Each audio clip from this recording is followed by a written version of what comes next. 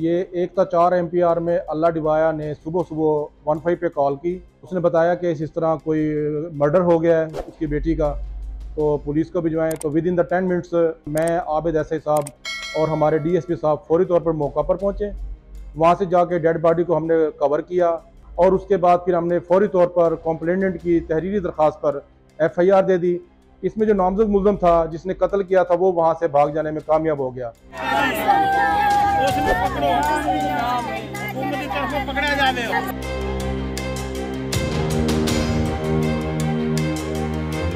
मुलजम के पास किसी किस्म का कोई मोबाइल नहीं था तो इसमें वो सी डी आर वो जियो फेंसिंग और इस तरह के जो मामला थे, वो कारगर साबित ना हो रहे थे। पुलिस ने फिर रवायती तरीका इस्तेमाल किया। इस मुलजिम ने जहाँ जहाँ पर, जिस जगह पर जॉब की, जिस जगह पर ये कोई जानवर वगैरह का काम करता रहा तो हमने मुजफ्फरगढ़, कबीरवाला बत्तीस पुल मुल्तान और मुख्तलि जगह पर हमने अपनी टीमें तश्कील देकर हमने अपनी टीमों को डिप्यूट किया।